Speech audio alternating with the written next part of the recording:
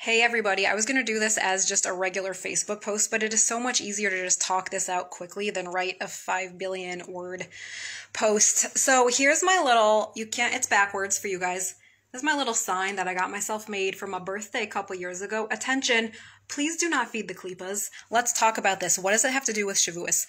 In the Sicha, the Rebbe's talk, Yom Beis de Shavuos of Nun Aleph, the second day of Shavuos in 1991, the Rebbe brought in his Sicha, which literally changed my life a couple years ago, the idea of halacha kabeis Shammai and Yemais HaMashiach. What does that mean?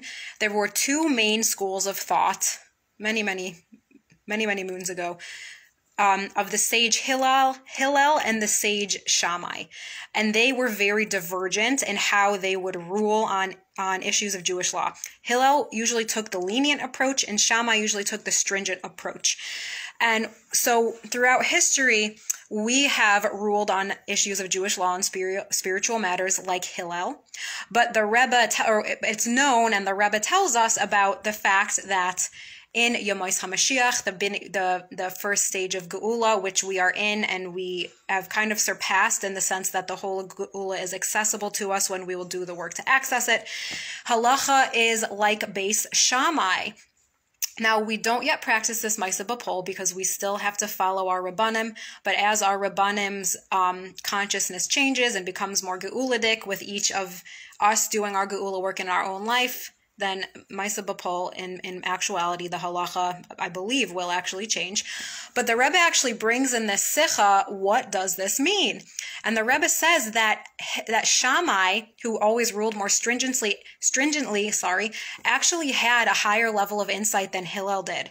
And he could see, Shammai could see where even if something looked kosher on the outside, its expression was kosher, if it was actually a klipa or a ra, something misaligned or negative expressing itself, he would um, he would say not kosher because he had a deeper penetrating level of insight and he would say not kosher because I see that this thing, even though it's expressing itself in a way that looks good, it's actually a klipa, a negative force trying to suck energy out of another person.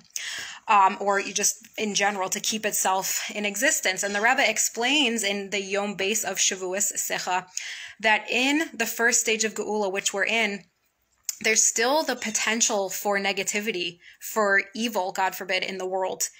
And we see that playing itself out. However, in um, in this time period, we are given Shammai vision. We're given a deeper spiritual insight, whereas we can look at things, we can look at situations, and we can look at people and say, this looks kosher, but this feels wrong. This feels off to me. There's something off here energetically.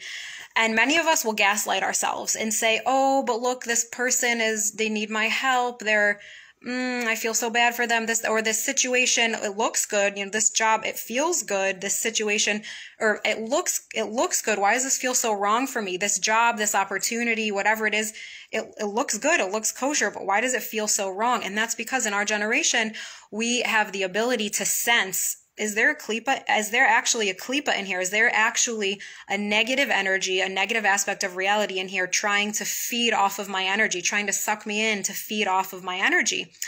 And we have the ability to see that more deeply in, in this in this time when we have sharper spiritual insight. And if we really see and feel that actually what's here is a klipa, is a negativity, we set a boundary. We have that gavura of Shammai. We set a boundary. We said, please don't feed the klipas. I ain't gonna feed this klipa. I'm gonna say no. I'm gonna get myself out of this situation.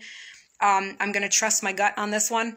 And um, in that way, we kind of end up starving this negativity out of existence. And that makes the Geula process go so much smoother and more easily for all of us. And we get to a time and a place where there is no more potential for negativity or ra in the world um, and we have the all the manifestations of the geula. So that's why we have this heightened insight, this Shammai vision, to see if what's really expressing itself in something. Oh, okay, it looks kosher on the outside, but on the inside, it's actually a klipa trying to get a yanika, trying to suck energy from you to keep itself alive, essentially.